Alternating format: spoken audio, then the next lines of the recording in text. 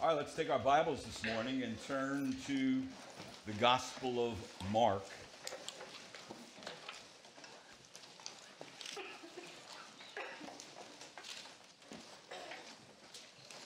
The Gospel of Mark.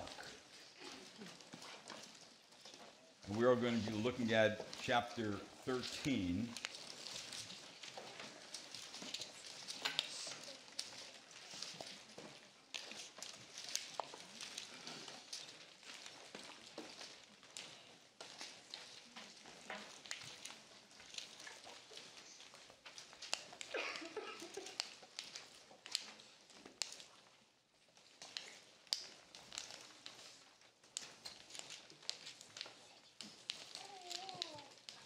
Let's pray. Lord, this morning, as we come before you and we look at your word, I pray, Lord, that your word would have a tremendous sanctifying effect upon us. I pray, Lord, this morning that as we look at this passage, we would be challenged once again that we ought to be ready for when you when you come that each day we live our lives and the way we live our lives we must ask the question lord are we ready if you if you came that day? If you came that evening? If you came while we were asleep? Are we ready to stand before your presence? I pray lord that your word would encourage us to do that very thing to prepare ourselves and make ourselves ready. And I pray, Lord, as we do that, we would not only be ready, but we would also be serving. We would be doing what we ought to be doing in preaching the Word of God, in telling others about the gospel, about serving with our gift in the church, about just being a witness and a testimony wherever you have us, a light and salt in this world. I pray that for us today and use your word to stir our hearts today. In Christ I pray it. Amen. Okay, so Mark chapter 13, we're back in the Gospel of Mark after the holidays.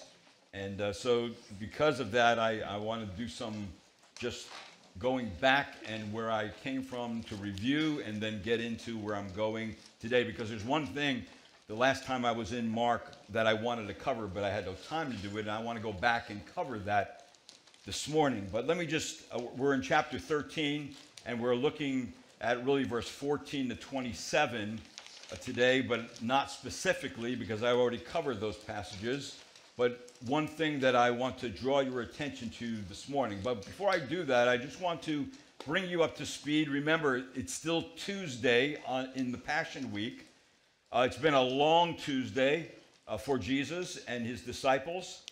Uh, and of course, it would be, it's going to be a very memorable Tuesday uh, because of what actually Jesus begins to discuss with his disciples.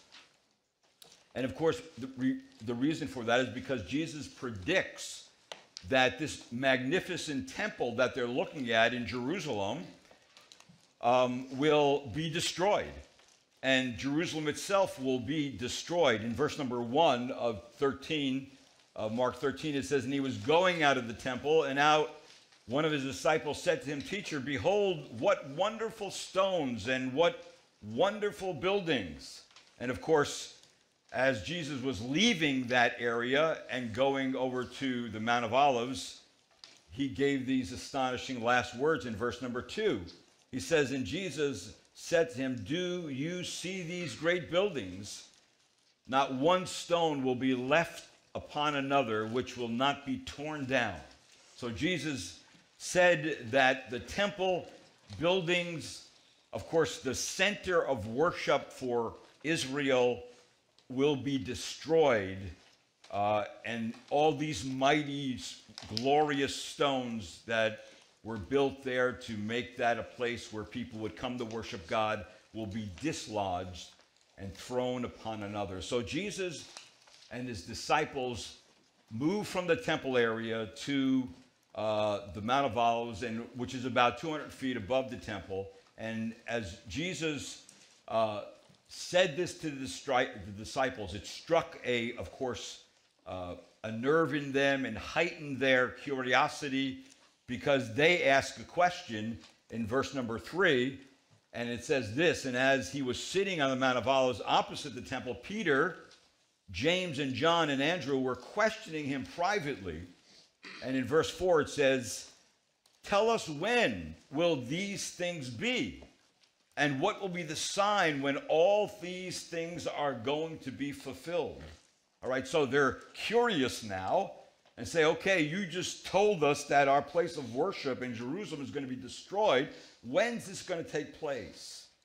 Well, they're, they're apparently asking three questions. The first pertaining to the destruction of the temple, which happened in 70 AD. A second pertaining to Jesus' future personal return and consummation, because Jesus is also going to bring that up in this uh, passage of Scripture, in this text. And then, third, it was related to the sign when these things would take place. So the disciples assumed that the destruction of the temple would be would actually preclude the temple would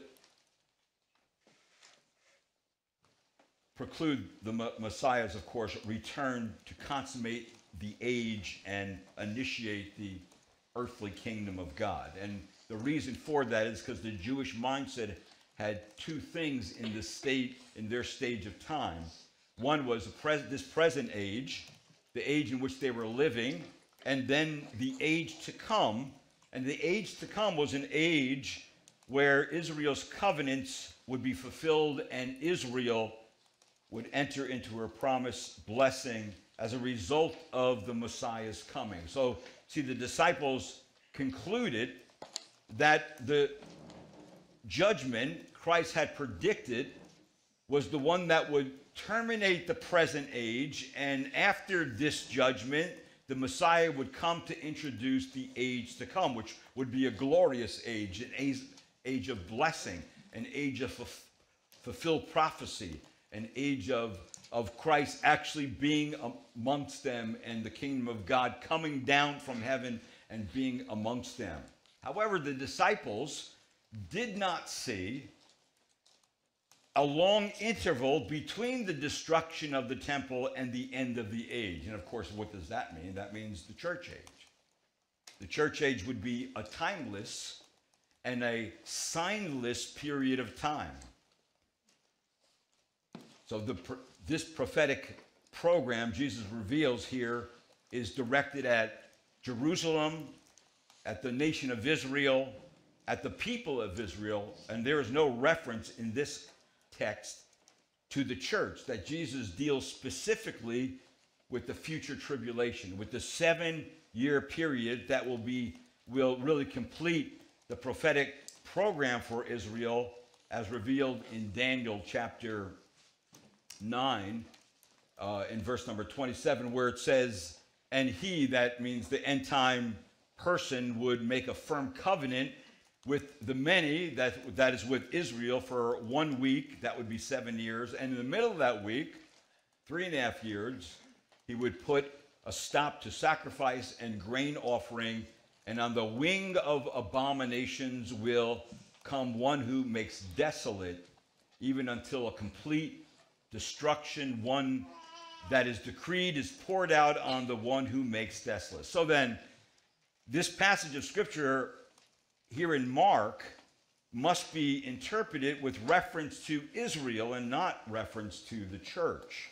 And I understand, uh, and I have already said, that this is describing an imminent event, one, and then also a future event. It is frequent uh, that the prophets view things this way, uh, that they would see in the, they would write in write in their prophecy something that was going to happen very close to what they said, and then something that was going to happen far off in the future. And as I mentioned already, someone had aptly described the vision of these Old Testament prophets as a man looking at two mountain peaks, one beyond the other. The two seem to belong to the same range of mountains, but as a matter of fact, there is great gaps between them.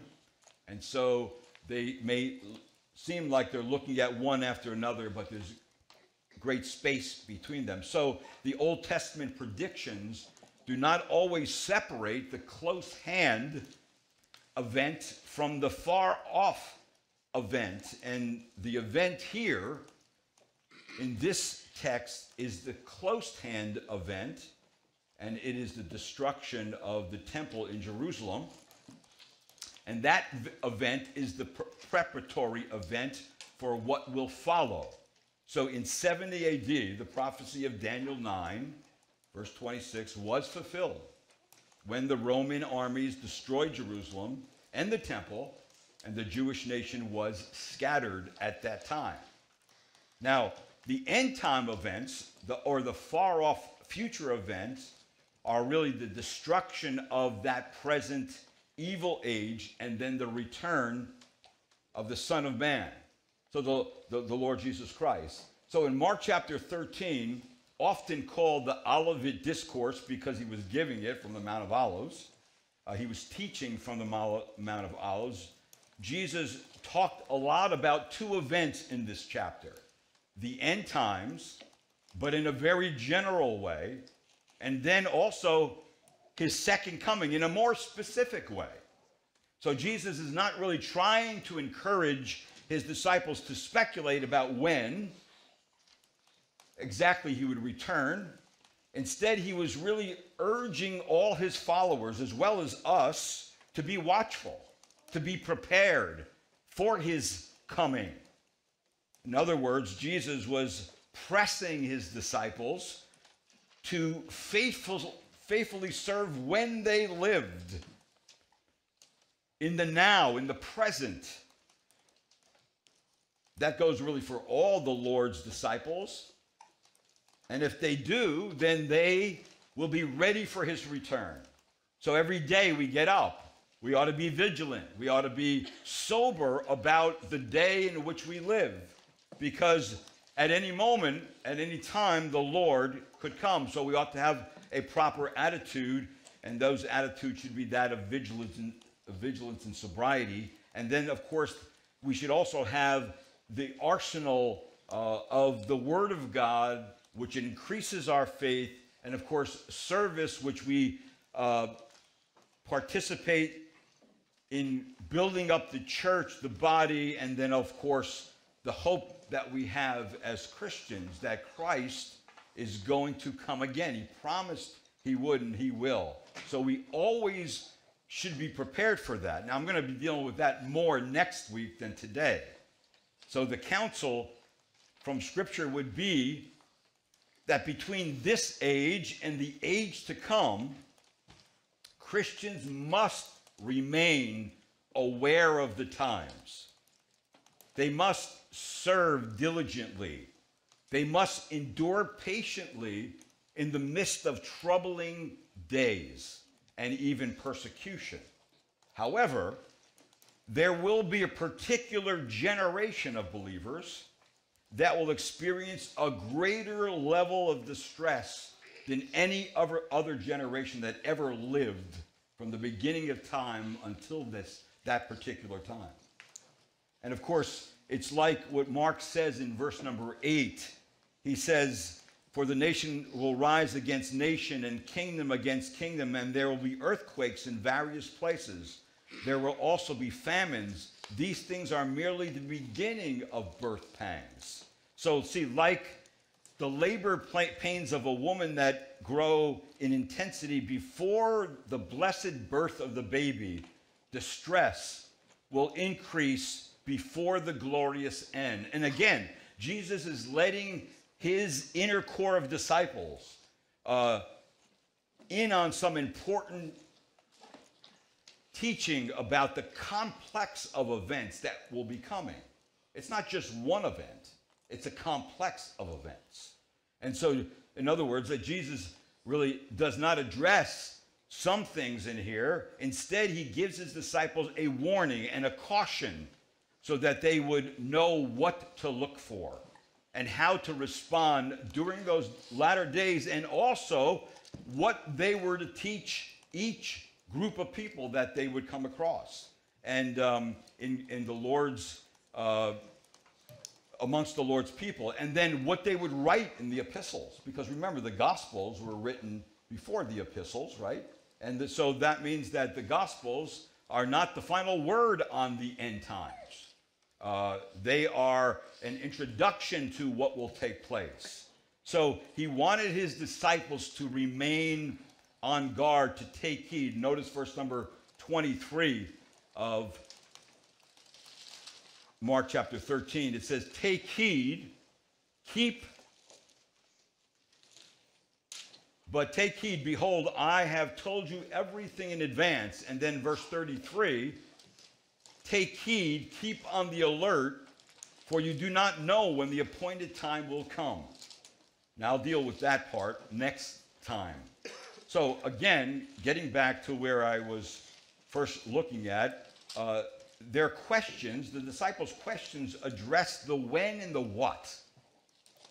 Tell us when these things will be, and what will be the sign when all these things are going to be fulfilled. So Jesus answers by addressing the what first, and then, of course, what will the sign be, and then the when. Now, Jesus provides guidance to his attentive, and believe me, they are attentive, and ready followers. They are, they are all ears about what he's going to tell them. Now, again, this section of scripture I already covered, but there's one thing that I want to address today. Notice in verse number 14, and this is where Jesus begins to talk about the end times. It says in verse 14, but when you see the abomination of desolation standing where it should not be, let the reader understand. Now, Jesus had just stated the event which will launch unparalleled tribulation on the world. This event is a definite, observable future event. The disciples are to remain aware of the times by reading something. What readers? What have the readers read, or what are they to read? Well, Mark does not mention that, but the Gospel of Matthew does mention it in the same context of what he's speaking here. Matthew's recording it in this way. If you care to turn there, it's Matthew 24, verse number 15. It's, he's saying the exact same thing, but he adds something, which is really important. In Matthew 24, verse 15, it says, Therefore, when you see the abomination of desolation which was spoken through Daniel the prophet, standing in the holy place, let the reader understand. Now, he inserted something, Matthew did, that Mark did not, and that was the very point that, listen, what are they to read? Now, of course, the readers of Mark could have already assumed and knew what they were supposed to read. Matthew includes it in there. They were to read the prophet Daniel. In other words, Christ's disciples are to get their understanding, to get their insight about the end times from Scripture, which was already written. He's not providing new information here. He is saying to them, listen, get it from the prophet Daniel. So there is something in notice in verse number 14 of Mark. When you see the abomination of desolation standing where it should not be, what is this? Who is this? See, there is something or someone standing in the temple where it or he does not belong a violation takes place, something that is utterly abominable in God's sight, in the holy place, in the temple, which is the house of prayer consecrated to God, this person devastates the worship of God and the worship of God's people. According to Scripture, Mark is thinking of a person here. He's thinking about the future Antichrist. This is the one who shall cause sacrifice and oblation to cease.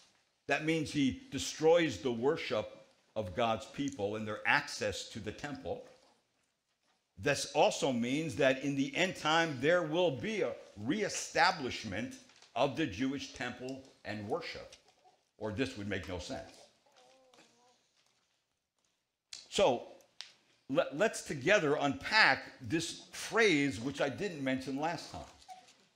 Let the reader understand. Now, that's a very specific way of saying it because it seems like the only way we're going to gain insight and understanding, or whoever's hearing the Word of God spoken or read, has to get it from God's Word. They can't get it from anywhere else. So I want you to take your Bibles and I want you to turn to Daniel chapter 12. Turn to Daniel chapter 12.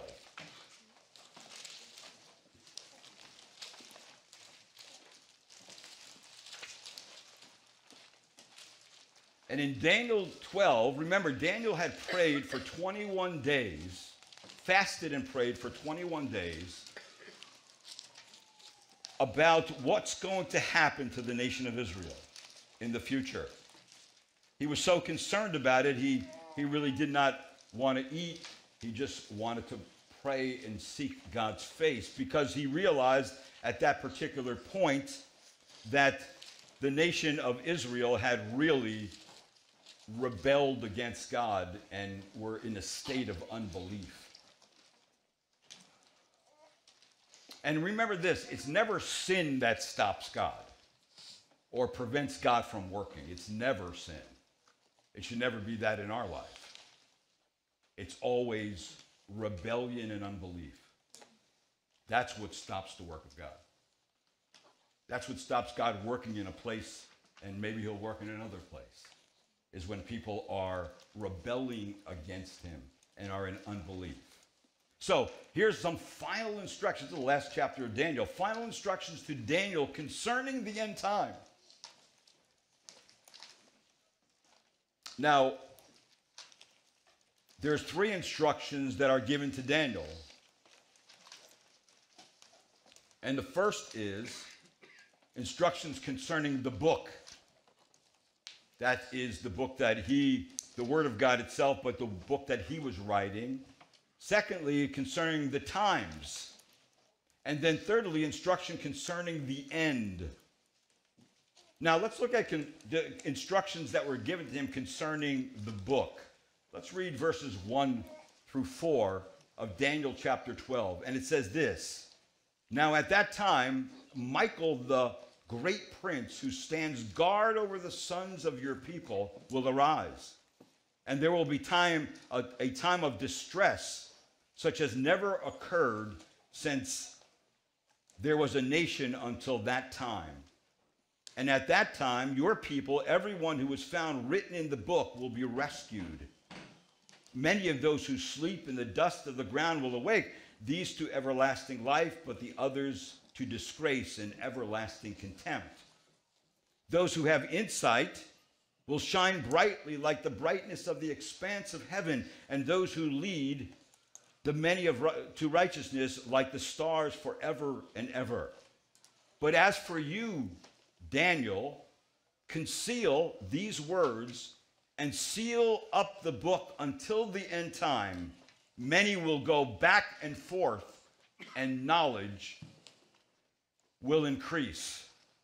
Now, several questions need to be asked when examining a passage like this. Number one, can this prophecy be directed at a particular end time generation? Also, what is meant by many go back and forth?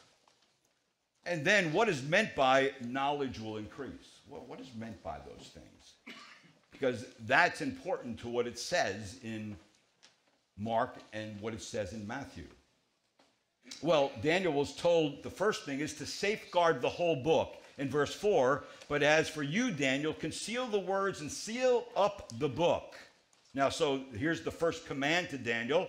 He is to uh, shut up the book. He is to, in other words, fasten up by sealing the book.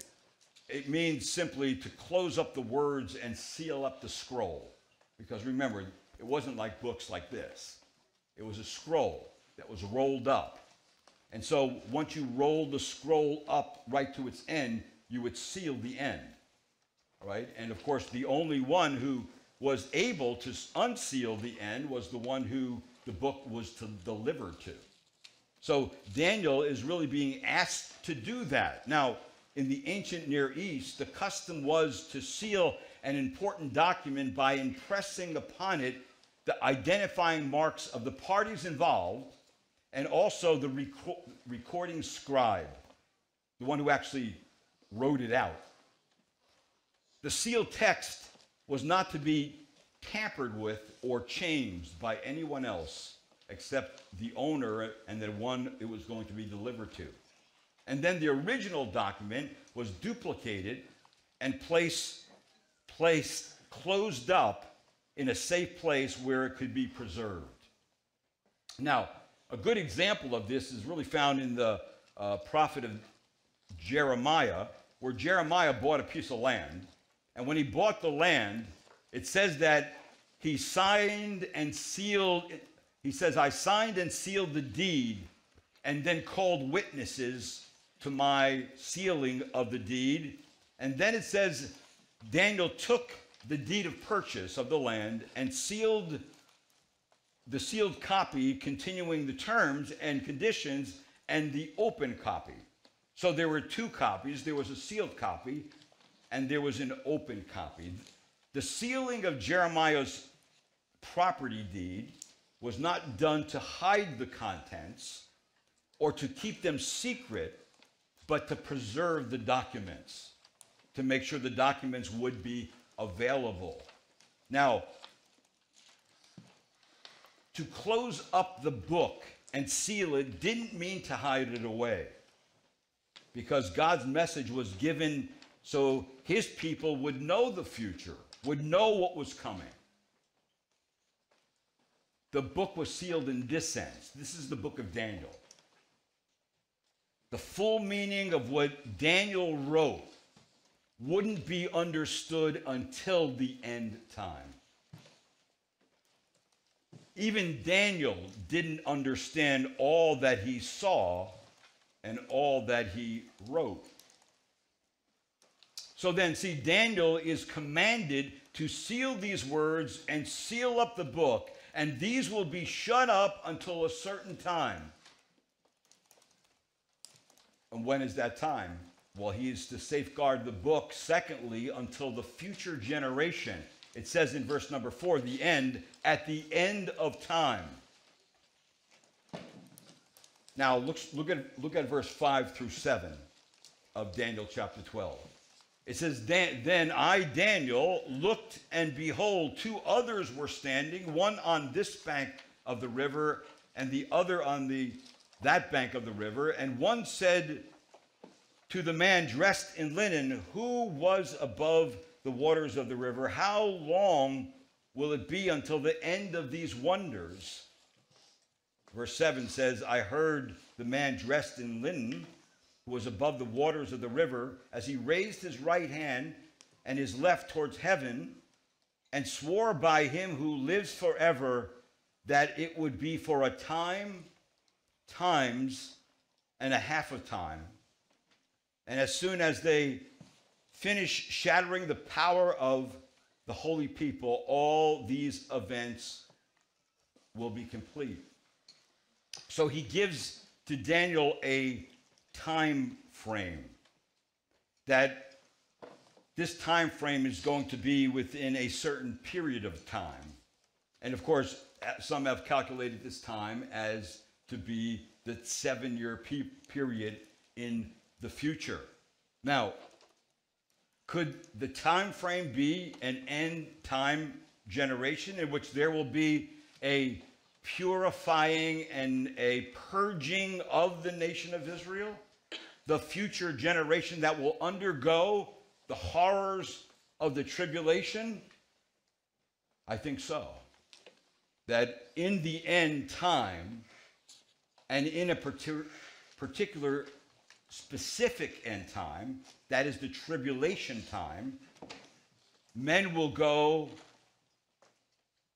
wherever they can to find answers. That this end time generation during the tribulation will, it says in verse number four, many will go back and forth. So, in other words, there's going to be the safeguard of the book for a future generation and for a generation of people who would be called the searching ones, the ones looking for answers in those days. And that's what he's talking about in verse number four, where it says, Many will go back and forth, and knowledge will increase. So the Hebrew word there, the verb there is to have be, it's going to be an intense search. It's going to be, in other words, to say it like this they're going to utterly search for something. The expression is often used in Scripture to mean the eyes of searching for something, to find out something. Like it says in Zechariah, for who has despised the day of small things? But these seven will be glad when they see the plumb line in the hand of Zerubbabel. These are the eyes of the Lord which range to and fro throughout the, wor- out the world or out the earth. See, this is the running uh, of eyes to and fro over the pages of Scripture, if we applied that to the book of Daniel. It was a commentator named Campbell who said this cryptic expression, many will go back and forth, is best understood to mean that people in the tribulation will run about seeking answers to questions about the climactic events of their times, and that they will find answers through increased knowledge of the book of Daniel. So it also says in verse number four the knowledge will increase. There will be a knowledge explosion. Now, the Hebrew word here for knowledge also includes perception or skill or discernment to see into something. And of course, Mark and Matthew translated understanding. Let the reader understand, get understanding. See, that means this that the word would increase, that it would become numerous. Now, does this just mean knowledge in general will increase? We've all experienced that, have we not? or doesn't mean a particular kind of knowledge will increase. Now, because we have had a knowledge explosion in the past 60 some years, some have interpreted this passage of scripture to refer to modern travel, uh, the progress in scientific learning, or that of uh, technological advances. And for your information, according to published reports, 90% of all scientists who have lived are alive today. 50% of the world's inventions have been created in the last 20 years. The internet is currently doubling in size every seven months. Now, just consider these figures for a moment. From 1750 to 1900, every 250 years, knowledge increased. From 1900 to 1950, every 50 years, knowledge increased or doubled. From 1950 to 1960, every 10 years, knowledge doubled. From 1960 to 1968, every eight years, knowledge doubled. From 1968 to 1900, Every three years, knowledge doubled. From 1900 to 2001, every year and a half, knowledge doubled. From 2001 to the present age, every half of year, knowledge doubles. Now, as interesting and as shocking as that information is, there is nothing that justifies such a handling of the text in Daniel. Therefore, I do not believe that the increase of general knowledge is what this passage is referring to. However, that general knowledge that we do have help us to see how some of the end time prophecies will actually take place. Right? How are we going to know things right away if it happens all the way on the other side of the globe, right? Well, we know, well, that's pretty simple. My wife right now is with my daughter Elizabeth in uh, British Columbia, Canada, because she's going to school there. And, uh, you know, I text her yesterday, boom, bang, boom. You know, two, a second later, I get a text back from her. It's like amazing that where any place you could be in the world, that could take place. How that didn't happen when I first started in the pastorate. I was still using a typewriter. You know what that is? a typewriter I was using. I mean, the kind, and it wasn't an electric one. It was the kind that half your finger had to go down before the thing came up and hit the paper. It would take you forever to write a paper. And then if you made a mistake, you had to get white out, all right? And, you know, forget it. If to, it would just, I don't even know how people did it back then, all right? I really don't know how they did it back then, but I was part of that generation, and, and some of you here understand that and know that. But this new generation X, Y, Z, and the millennial generation, they have no idea, you know, what you're talking about when you talk about certain things that just happened a few years ago. So, it, yes, knowledge has increased, and but right here, this passage is referring to a particular kind of knowledge, and that is a knowledge of God's plan for the end. Listen to this amplified version of this particular verse. That's Daniel 12 4. It says, Then many run to and fro, search anxiously through the book, and knowledge of God's purposes as revealed by his prophet shall be increased and become great. That's a great way to expand it. That's exactly really what he is saying. Matter of fact, a, a sense is giving in another prophecy in Amos that gives kind of the same uh, type of interpretation where it says in Amos 8:12 people will stat, scatter from sea to sea and from the north even to the east and they will go to and fro to seek the word of the Lord. But in Amos it says they will not find it. Even though Amos says they will not find the word of the Lord. God will make it that in the end time, that is even the time that we live in, and the great, specifically the great tribulation time, men will search prophetic books in the Bible and find answers about what's going on in the world. In other words, that God promised Daniel that his people can increase in their knowledge and in the prophetic scriptures as they apply themselves to the Word of God.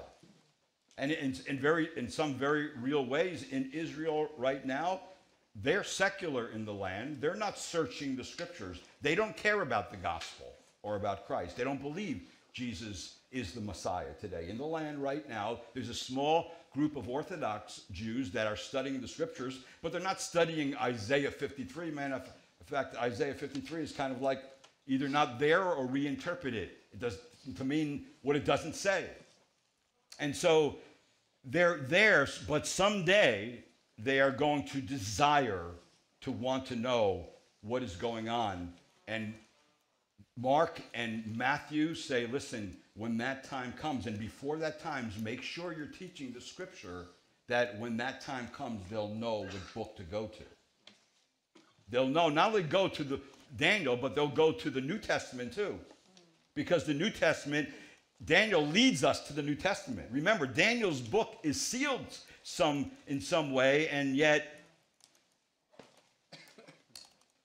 this passage is being fulfilled today people, we understand more about Daniel's prophecies than anyone else ever did. We understand more than he did. And therefore, we have a greater responsibility to understand them and to pass them on faithfully.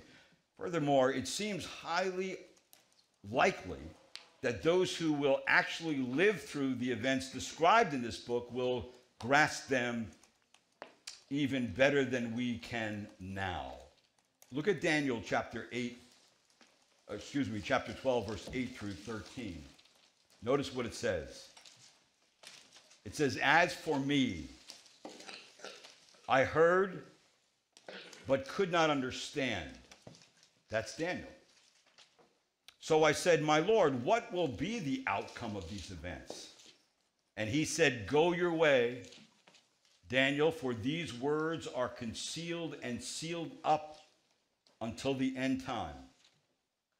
Many will be purged, purified, and refined, but the wicked will act wickedly and none of the wicked will understand, but those who have insight will understand. From the time that the regular sacrifice is abolished and the abomination of desolation is set up, there will be 1,290 days. How blessed is he who keeps waiting and attains to the 1,335 days. But as for you, go your way to the end. Then you will enter into rest and rise again for your allotted portion at the end of the age. That is a lot of stuff right there. But he is telling Daniel, listen, Daniel, I'm not going to tell you the whole thing. You're not going to know it all. But someday, there's going to be a Gospel of Mark and a Gospel of Matthew. And there's going to be a book called Thessalonians, and there's going to be a book called Revelation. And those particular books are going to open up even more than you know what's going to take place in the future. And it's going to let you know what is the abomination of desolation. So we have been studying the Olivet Discourse of Jesus in the Gospel of Mark and in Matthew. And when you see the abomination of desolation standing where it should not. Let the reader understand. Jesus has just stated the event, as I already said, that launches the unparalleled tribulation that is coming. And this event is a definite, observable future event. And the readers are to start with by reading, for understanding, by reading the prophet Daniel.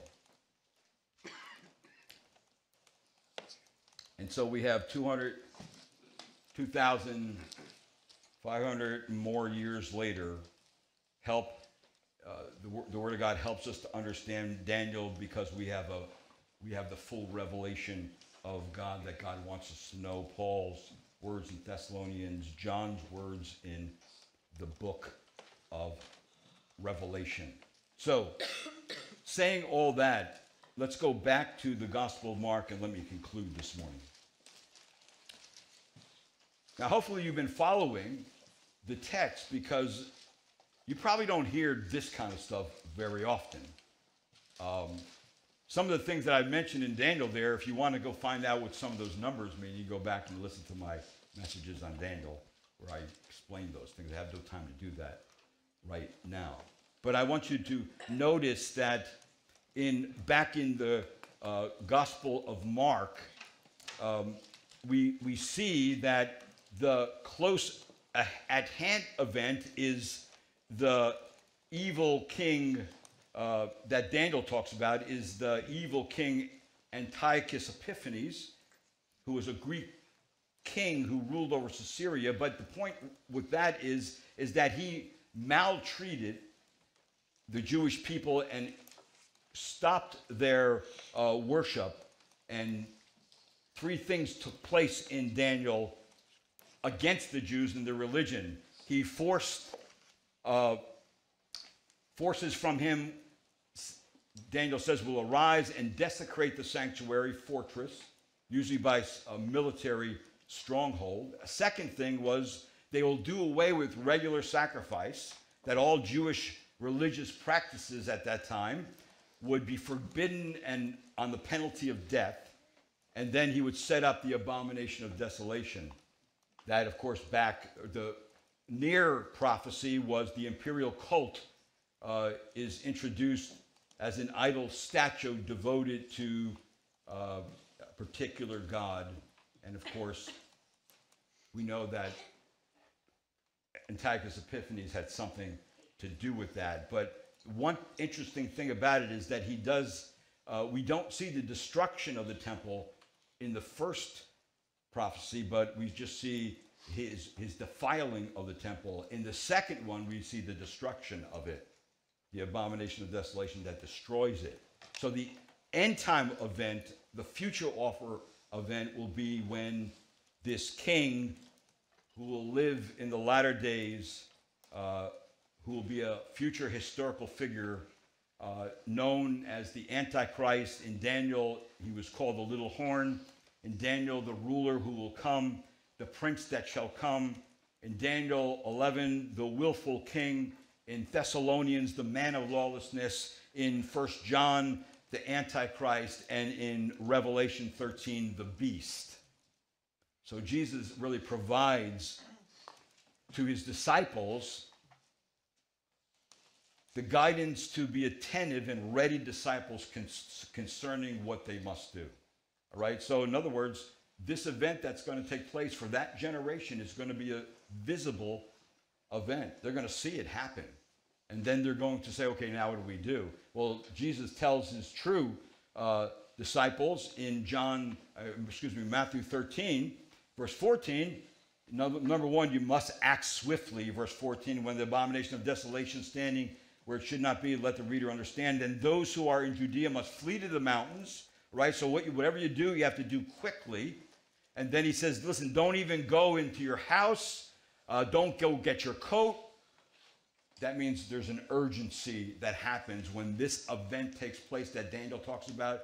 This event is going to set off something in the world that has never taken place before. It's going to be so swift and catastrophic and fast moving against the people of God that you better run for the mountains. Because in the mountains, God's going to provide sanctuary. It says that in Revelation. I, I, mentioned that last time.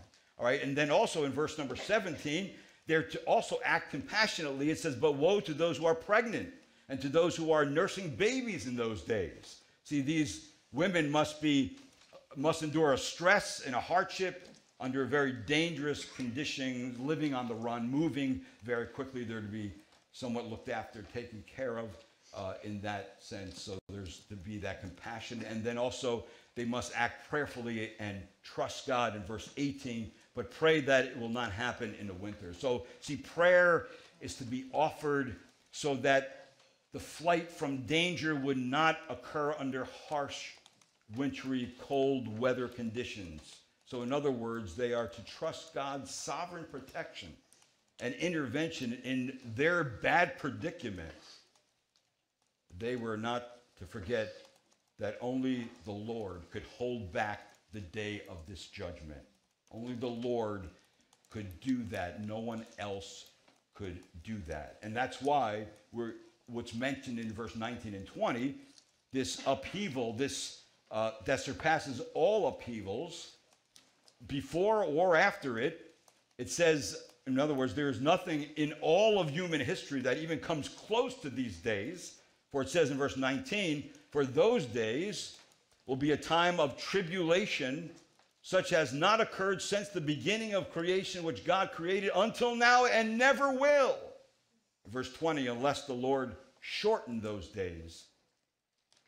Unless the Lord shortened those days, no life would have been saved, but for the sake of his chosen, the elect, whom he chose, he shortened the days. So without divine intervention, no one would be able to live through the tribulation days, especially the last half of it when uh, the Antichrist is, is all his power is unleashed upon the nation of Israel and the world. God is watching over his people, causing them to persevere, protecting them from powerful deluding influences. God pre- preserves Israel and nourishes her in the wilderness, as I mentioned last time. And then they are to remain vigilant. And notice in verse number 21, Jesus warns about not listening to or being swayed by end time personalities with powerful abilities to mimic Christ, because that's what Satan's going to do. He's going to mimic Christ as closely as possible. He's going to display himself as the Messiah. All right? And people are going to believe him because he's going to do it with signs and wonders. He's going to get people uh, to worship him as he gets the false prophet to, to get the world and the religious systems to dedicate their worship to one person. And that's going to be the person who stands in the temple of God and declares himself to be God. That is the abomination of desolation. That is the time where this scripture is talking about. For it says in verse number 21 And if anyone says to you, Behold, here is the Christ, or Behold, he is there, do not believe him, for false Christs and false prophets will arise and will show signs and wonders in order to lead astray, if possible, the elect, the chosen, the ones who have understanding, the ones who have insight, the ones who read the prophet Daniel and the prophet Isaiah and the prophet and uh, of the New Testament writers of Thessalonians and Revelation, who are and the Gospel of John and the Gospels too, they are they are armed with those things. They they understand what's going on. And so in verse number 23, it says, But take heed, there's that warning again. Behold, I have told you everything in advance. Everything they needed to know, Jesus told them. Now, the question usually raised at this juncture concerning a pre tribulation rapture, the question is where in the Olivet Discourse is a pre tribulation rapture? Well, the answer is nowhere. And wh- why is that? Because a reasonable, well, a reasonable suggestion is that the Olivet Discourse deals with the broad outline of the tribulation period alone and does not include events which are pre-tribulational, or in other words, the events that take place before the tribulation period. It doesn't have, doesn't give reference to that at all. The epistles take care of that. The epistles fill in the blanks. All right, so I believe that the scriptures teach that before the tribulation period, that the church, the bride of Christ, is raptured and removed from, the, from earth to heaven to be with him. That if the church were to go through the tribulation period, one would expect that the epistles would teach the fact that the church will go through the tribulation and the purpose of the church in the tribulation and then the conduct of the church in the tribulation. However, the scriptures are silent concerning the traumatic change for the, this traumatic change for the church. And the reason for that is because there's really five reasons for the tribulations. It is for Israel, it is for the Gentiles, nations that are unbelievers, who are punished for evil and for rejecting Christ. It's also for God Himself. Remember, the tribulation period is called the day of the Lord. In other words, God's time in human history in which He vindicates His reputation, that the Antichrist will deny the true God and declare Himself to be God.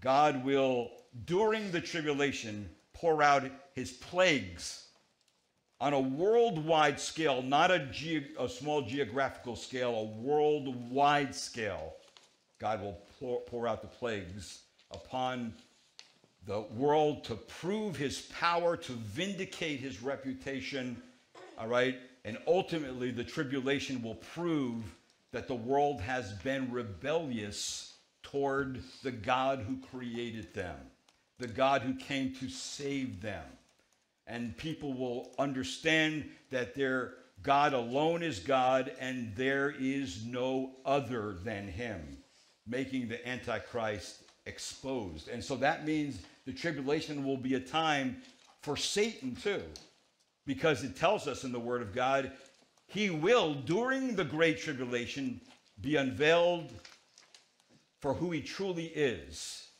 evil and ruthless to the core, a deceiver, a liar, a hater of God, and a hater of God's people. He is called in Scripture the dragon, the serpent. In fact, in Revelation 12 12, it says, For this reason rejoice, O heavens, and you who dwell in them. Woe to the earth and the sea, because the devil has come down to you, having great wrath, knowing that he only has a short time. So he is given this time by God to unleash his wrath also upon the world. And then, of course, for believers, the tribulation is God, God will use the time of tribulation to bring people to himself in repentance and trust, and a great multitude of souls will be harvested, harvested at, at, at that time. For it tells us in Revelation also, after these things I looked, and a great multitude which no one could count from every nation and all tribes and peoples and tongues, standing before the throne and before the Lamb, clothed in white clothes. And then it says in verse 14, I said to him, My Lord, you know. And he said to me, There, These are the ones who come out of the great tribulation. And they have washed their robes and made them white in the blood of the Lamb. So, so in light of that, in light of that, what is written, next time on the passage, I want you to notice in Mark chapter 13, verse 24, what it says. After I said all that, I want you to re- look at this passage. Look at Mark chapter 13, look at verse 24. It says, But in those days, after that tribulation, that's a time word. The sun will be darkened, and the moon will not give its light, and the stars will be falling from heaven, and the powers that are in the heavens will be shaken. What is this? You know what this is? This is an introduction to us that Jesus is coming. Everything is shaking, everything is unlike it used to be. He is coming. And notice what it says in verse 26 Then they will see the Son of Man coming in the clouds with great power and glory. And then he will send forth the angels and will gather together his elect from the four winds, from the farthest end of the earth to the farthest end of heaven. That's what we're going to look at next time. See, that is what we understand the Bible teaches concerning what Jesus was telling the disciples that day. And we have more information. So who's the privileged one? We are, right? But really, it calls us as believers to have, we should have inquiring minds. You know, the advertisement, inquiring minds want to know. You ought to have inquiring minds, especially about the end times. I think there has been a little bit of a dumbing down or a pushing aside that somehow the end time teaching is not important today. It is vitally important today. It is the thing that bolsters our faith. It's the, it's the thing that helps us to continue on no matter what's going on in our life. God's not done with his plan. We're in the middle. We're in the plan. You're part of the plan. You're part of his people. And so if you're part of his people, serve him, right? Do what you what God wants you to do now in serving him uh, in his in the church body so we can make people ready. So we can be ready that when he comes, whenever he decides to come, we're ready right? We're ready. We're not fooling around. We don't have a secret life going on behind the scenes. We're, we're the same in private and in public. We're an open book. You want to open my book? Yeah, oh, you're going to see some things in the book that nobody ever wants to see. But you know what? All of us have sin, right? But don't ever let sin stop you from growing in the Lord. Don't ever let sin stop you. Matter of fact, deal with your sin, put your sin to death, and continue to serve God. Believe me, it is great to serve God. It is amazing to serve God. God is so faithful and so merciful and so kind and so good to us every day. That should just flow out of us because we're thinking about it. Because we're realizing what God has done for us in Christ Jesus. That there is no condemnation to those who are in Christ. There's nothing that could be against us. Not even death could be against us. Satan can't even be against us. Nothing could be against us. You realize Christ has taken care of everything for us. So we can be in his presence someday. But while we're here, we need to serve him and serve him seriously. Serve him seriously. You should be praying that God calls you a Bible thumper. You should be praying that God call somebody calls you a holy roller. You should be praying for that because that's the way we should present ourselves, of course, in a loving, kind manner. So we'd be able to share the gospel to people all around us. They, they're searching for something and they're searching in all the wrong places. And you and I have the answer. The answer is Christ. Christ ends our search. You understand that? And he begins a new future that only he can fill us in on and give us an information about. So you know, that, that's where I believe end time teaching brings us to just be bolster our faith, to be serious about Christ, to, to live for him with everything we have, and don't be influenced by the world or by other people or by this or that. You know, wealth is fleeting, health is fleeting, age, I mean, come on, let's face it, gravity and um, gravity wins out. You can't stop it. But see, someday we're going to have new bodies. We're going to be in the presence of Christ. See, that's our hope. We don't have to mourn like someone who has no hope or has no information. We got the information. And God is a God who can only tell us the truth. So it's true. It is true. I am the way, I am the truth, I am the life. No one can go to the Father unless they come through me. So I pray that if I asked you the question, are you ready? How would you answer that? If you look in the mirror today, go home and look in the mirror and answer the question, are you ready? If Jesus came today, are you ready? If he came when you put your head on the pillow tonight, are you ready? If he came tomorrow, are you ready? That's maybe a question we should ask every day. Are you ready to meet the Lord face to face? That's sobering. If you really honestly answer that question, it will change the way you live. Let's pray. Lord, I do thank you for the Word of God. Lord, if, if it wasn't for the Word of God, we would all be in the dark we would all be getting trying to get answers from places that never supply answers. The world doesn't have answers for these kind of things.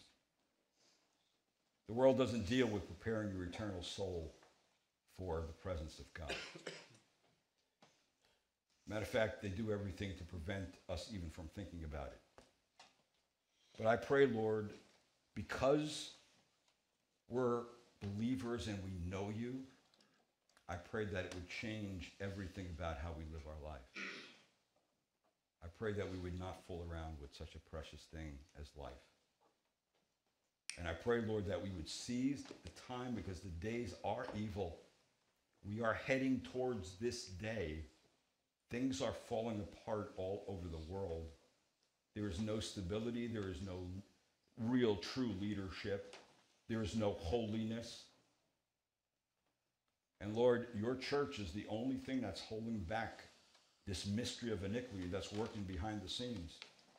And so, Lord, someday when the church is gone and it just all breaks loose, it's going to be time that Daniel spoke of and you spoke of here. So I pray, Lord, we as your people would make ourselves ready, that we would ready the next generation, we would ready our children, and we would give them a sense of how to live life in a way that's honoring to you. Right in the middle of a perverse and crooked generation, we can live holy lives because you give us your spirit, and you give us your word, and you give us your church for that to happen. And I pray, Lord, help us to be faithful to that. And I pray if someone doesn't know you today, today would be the day that they come and bow their head and trust you as their Lord and Savior in repentance of their sin and confession of Christ as the only way to save them from eternal destruction. And if we do know you, Lord, enable us to be faithful. And I pray this in your name. Amen.